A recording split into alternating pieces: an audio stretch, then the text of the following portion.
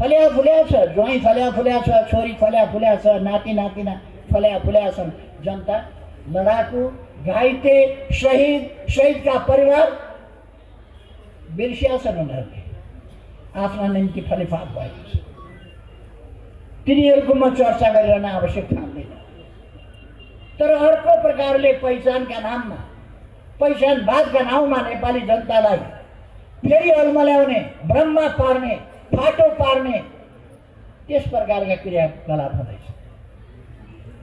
अहिले कोशी प्रदेशबाट कोशी प्रदेशमा कोशी प्रदेश नाम राखियो सबैको साझा नाम राखियो एउटा पृष्ठभूमि विशेषको नाम राखिएन भनेर। केही तत्त्वहरू वितरणा मचाउनलाई ठुलो तत्त्व चाहिँदैन धेरै ठुलो शक्ति चाहिँदैन। विदेशबाट सञ्चालित कसैको इसारामा नेपालमा एकता हुन नदिने नेपालमा शान्ति हुन नदिने नेपालमा लोकतन्त्र हुन नदिने त्यसप्रति जनताको विश्वास हटाउने अशान्ति मचाउने शान्ति खलबल्याउने र देशलाई असहज स्थितिमा पारेर अरूकै स्वार्थ पुरा गर्ने प्रयासमा यस्ता तत्त्वहरू लागिरहेका छन्। उनीहरू अहिले भनिराखेका छन् नेकपा एमालेको यो झुलाघाट चिवा भन्ज्याङ यात्रा प्रदेश एकमा प्रवेश गर्न दिन्न भनेर किन नदिने? नदिने को हो फेरि उनीहरू? नेकपा एमाले कहाँ जान पाउने कहाँ जान नपाउने? नेकपा एमाले त ती प्रदेश एकमा छ।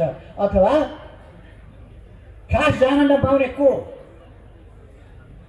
कसैको वीरता होइन कुनै विभाग नेपालको। प्रवेश गर्न दिन्नै भन्ने खालका तोडफोड गर्छु। आक्रमण गर्छु मारपिट गर्छु भन्ने खालका आतङ्ककारी कुराहरू हामीले धेरै देखेका छौँ। यस्तो फुर्ती नलगाए हुन्छ। हामीले सामना गर्न नपरोस्। म उहाँहरूलाई भन्न चाहन्छु यो बुद्धि छिटै सच्याउनुहोस् यो बुद्धि छोडिहाल होइन भने यस बुद्धिले तिमीहरूलाई सर्वनाश गर्छ। अवस्था त्यस्तो छ। यस स्थितिलाई कायम रहिरहन दिने हो भने वा भविष्यमा यस्तै हुने हो भने नेपालको अस्तित्व नै खतरामा पर्न सक्छ। त्यसकारण नेपालको अस्तित्व नै खतरामा पर्ने गरी नेपाल असफल राष्ट्र घोषित हुन सक्ने तर्फ अगाडि बढ्दैछ त्यसलाई रोक्नका लागि यो असफल राष्ट्र हुन दिनु भएन।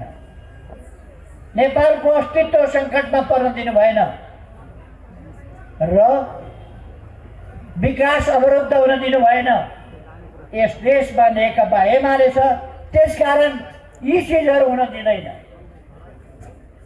अहिले यस सरकारका नालायकीले यस सरकारका अयोग्यता र असफलताले प्रतिगामी शक्तिहरू फेरि फेरि उठ्न सकिन्छ कि टाउको उठाउन सकिन्छ कि भनेर केही छटपट छटपट गर्न थालेको देखिएको छ यस कार्यक्रमपछि नेकपा एमाले अनि पनि नेकपा एमाले।